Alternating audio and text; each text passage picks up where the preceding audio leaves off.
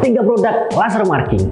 Sebelum lebih jauh tentang produk laser marking, terlebih dahulu kita pelajari apa itu laser marking.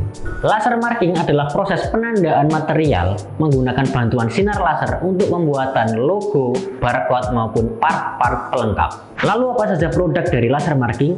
Yang pertama, merchandise. Ornamen akrilik dan metal pada produk merchandise dapat dikreasikan menggunakan mesin laser marking untuk membuat motif maupun pola sesuai dengan desain yang diinginkan. Yang kedua, nameplate. Nameplate berisikan informasi yang sangat penting seperti barcode, identitas, dan lain-lain. Laser marking membuat motif pada permukaan nameplate sesuai dengan desain yang diinginkan. Yang ketiga, Part pelengkap. Laser marking dapat membuat penandaan pada part pelengkap yang kemudian akan diolah pada proses yang lebih lanjut. Itu tadi tiga produk laser marking yang ada di sekitar kita.